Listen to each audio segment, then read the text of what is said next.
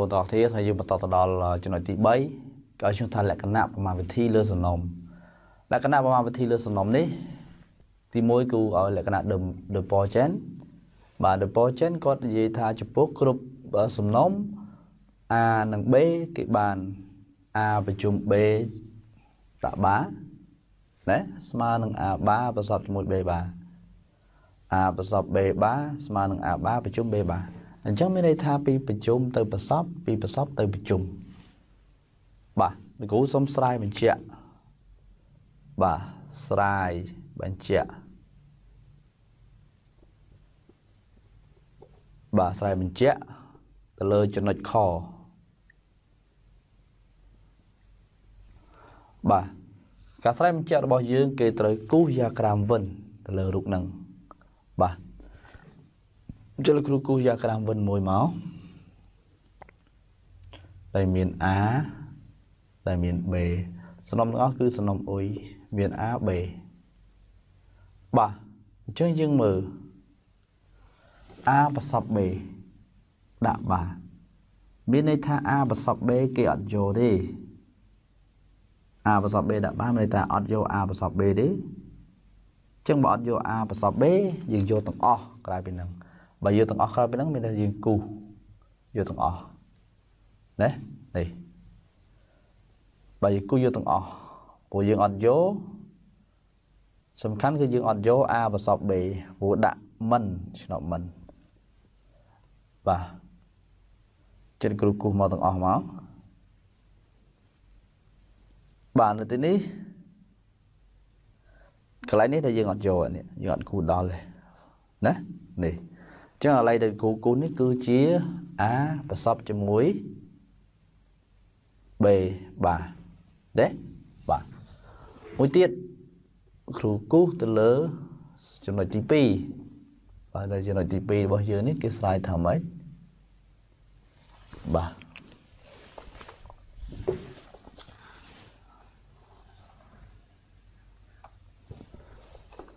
បាទគូសទៅលើចំណុចទី2របស់យើងតើតើវាស្មើគ្នាអត់បាទដូចគ្នាមានសំណុំ A និងសំណុំ B A បាប្រជុំមួយ B បា A បាមានន័យថាយើងអត់យក A ទេ A B A បាយើងអត់យក A ទេ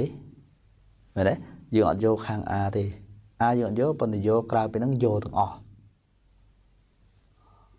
ណា យកទាំងអស់គ្រាន់តែយើងអត់យក A អ្វីដែលលោកគ្រូគូនេះគឺជា A បា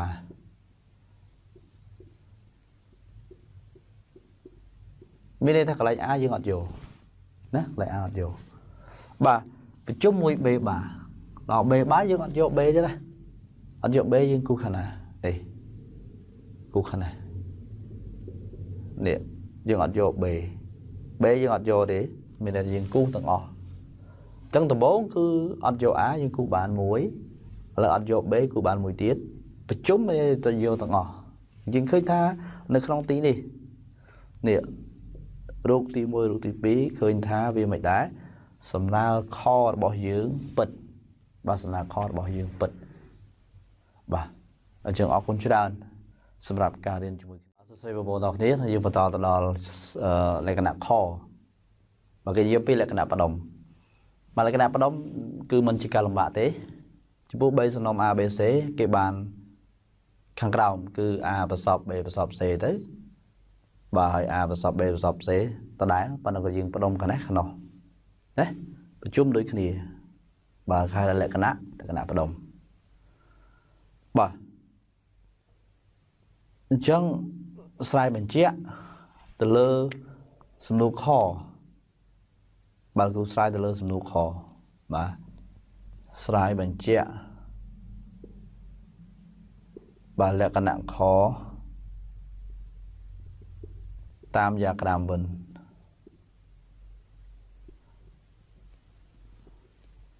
បាទតាមយ៉ាក្រាមវិញអញ្ចឹងសំណួរខ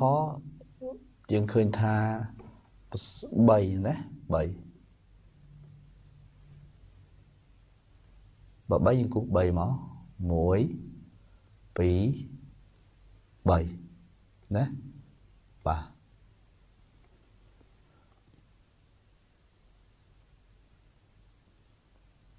បាទនឹងគឺអុយ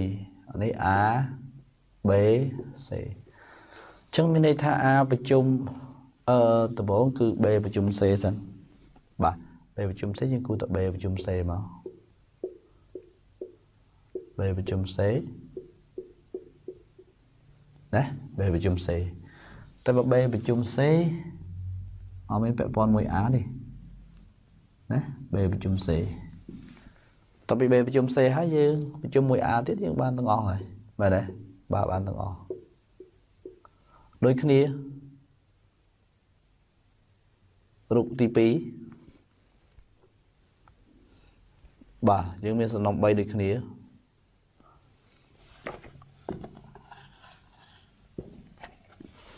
បាទរូបនេះគឺ A ប្រជុំមួយ B ប្រជុំមួយ C បាទមួយទៀតយើងមានដូចគ្នា A B បាទសំណុំមួយទៀតគឺសំណុំ C